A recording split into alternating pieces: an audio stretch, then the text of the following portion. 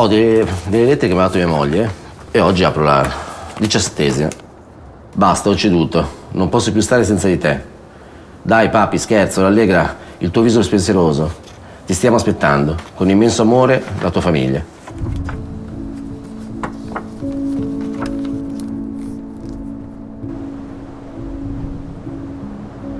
And then we took a boat, uh, and I remember we took off early in the morning, and we arrived at this beautiful place where people were sitting at the terrace outside. And I came into this uh, building, which uh, at that time, and maybe part of it still, looked like something from the 1970s, uh, and it has a charming atmosphere.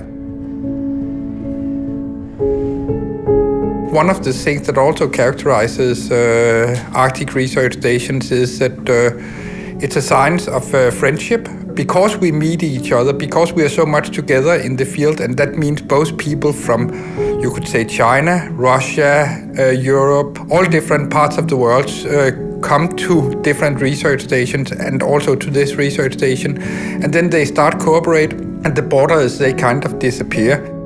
Mamma, mama. Yeah, yeah, mama. Okay. Your mother? Yeah. My, my mother, okay? Mamma. Allora, m, Ma. che stu, Yeah. a, Ah. ok? Yeah. Yeah. Ok. Yeah. Mamma. Mama. Butterfly, Yeah. ok? Yeah. Farfalla.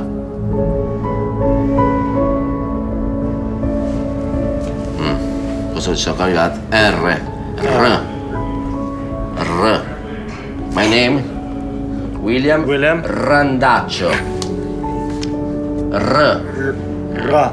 R. Ra. R. No. Sì, sì, ce la fai, ce la fai, ce la fai. Ra. Ok, per oggi, today, stop. Thank you, teacher. Uh, people really feel far away from home, even with Skype. It's not the same as being together with your friends. So you have a, a very strong feeling of remoteness when you are on a research station, and I think that brings people together.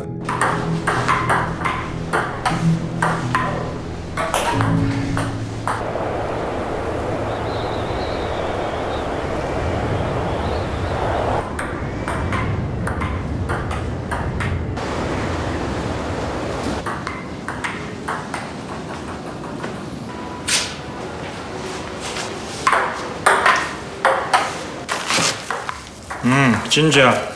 Ginger is very important for Chinese and also is very nice, especially during the winter and somewhere cold.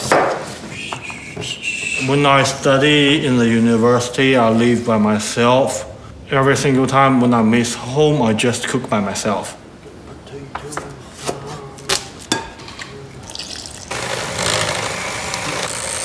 Usually I uh, help my wife to cook. Yeah, yeah, you got married, you lucky you. Sono arrivato qua che avevo 42 anni e me ne ritrovo addosso 43, quindi il tempo qui eh, vola.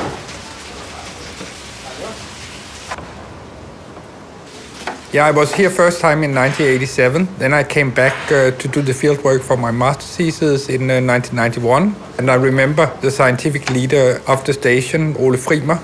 He invited us for dinner the first night we were here, and I was talking about this dream of uh, being the scientific leader of uh, Arctic Station.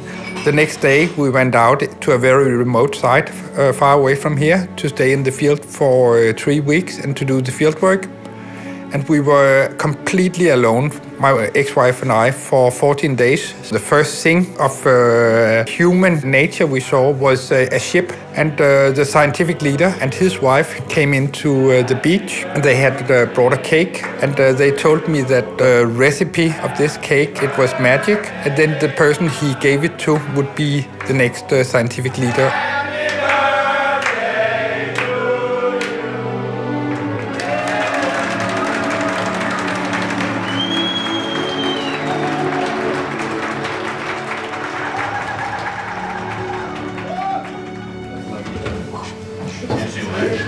Questi giorni sono lontano dalla mia famiglia, quindi capite bene che non è facile, no? Perché essere lontano dalla propria famiglia sicuramente non aiuta. Però eh, posso dire che ne ho trovato un'altra qua, eh. Quindi-